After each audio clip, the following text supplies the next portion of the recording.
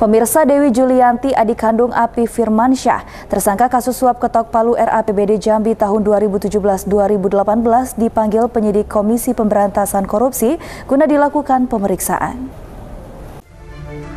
Tim penyidik Komisi Pemberantasan Korupsi kembali memanggil 9 orang saksi untuk diperiksa terkait suap ketok palu RAPBD Jambi tahun 2017-2018 di Polda Jambi Selasa 11 Januari 2022.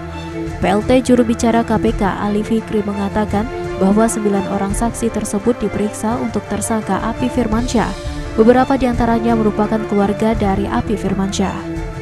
Beberapa saksi tersebut ialah Dewi Julianti selaku adik kandung Api Firmansyah yang juga merupakan sekretaris DPD PAN Kota Jambi dan juga Tri Ayu Andira anggota DPRD Kabupaten Tanjung Jabung Timur.